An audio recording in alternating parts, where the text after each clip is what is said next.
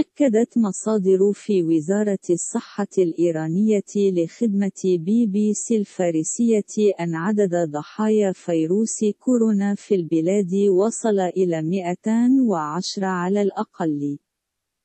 وأغلب الضحايا من المقيمين في العاصمة ومدينة قم حيث ظهرت الحالات الأولى للإصابة بفيروس COVID-19 ويعد هذا الرقم أعلى بستة أضعاف من العدد الرسمي للوفيات البالغ 34 والذي أعلنته وزارة الصحة في وقت سابق يوم الجمعة.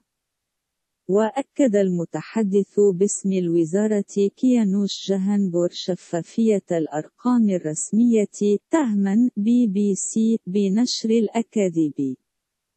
ويأتي ذلك بعد أن اتهم عضو برلماني في قم السلطات بالتستر على عدد الحالات وعبرت الولايات المتحدة الأمريكية عن قلقها من أن طهران قد تكون لا تعلن كل ما لديها من المعلومات.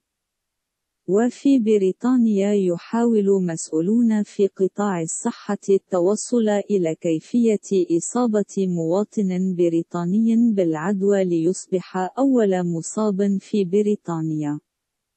ولم يسافر هذا الشخص إلى خارج بريطانيا في الفترة الأخيرة بخلاف 19 شخصا آخر شخصوا بالإصابة بالفيروس في بريطانيا وتوفي شخص أصيب بالفيروس على متن سفينة سياحية.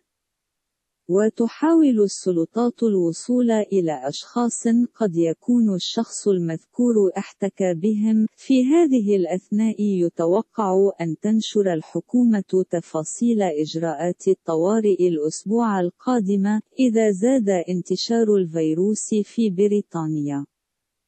وتهدف الإجراءات إلى مساعدة القطاع الصحي والتعليمي على مواجهة انتشار الفيروس في حال زاد عدد الحالات بشكل ملحوظ.